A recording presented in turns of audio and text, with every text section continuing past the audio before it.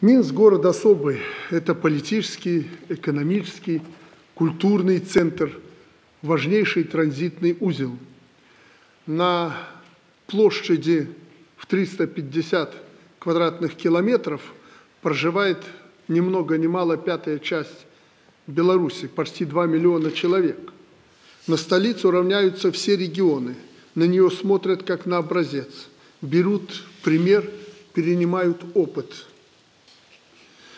По основным показателям социально-экономического развития городу Минску принадлежит от четверти, если брать валовый внутренний продукт, до 80% прямых инвестиций. Это общереспубликанские значения и показатели. Если до середины 2000-х мы восстанавливали город после развала Советского Союза, то затем Минск вышел на свою траекторию развития. За две с половиной пятилетки население прирастало по 16-17 тысяч ежегодно.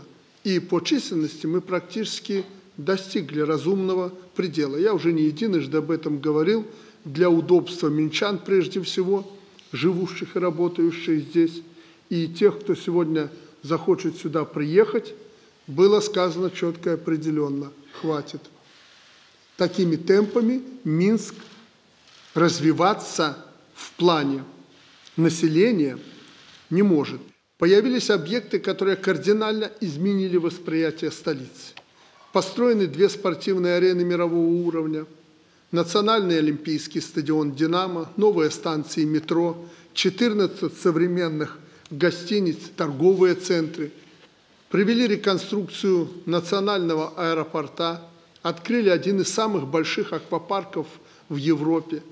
В Минске получили развитие самые современные медицинские технологии – Введены в эксплуатацию 17 крупных медицинских центров, 8 поликлиник. Для сферы образования построены 42 дошкольных учреждения, 18 школ. Возведением нового музея Великой Отечественной войны мы увековечили память о подвиге нашего народа. Столица стала площадкой для международных кино- и театральных фестивалей.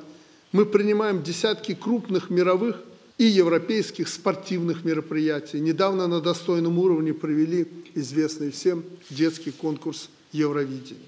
Говоря об экономике, как правило, я использую термин «опережающее развитие». Ведь здесь все как в спорте. Если бежишь медленнее, чем другие, значит отстанешь. Такой же образ применим и к развитию Минска в сравнении с другими крупными городами мира – Столицы чаще всего расположены внутри столичных регионов и поэтому естественным образом ограничены в территориальном росте.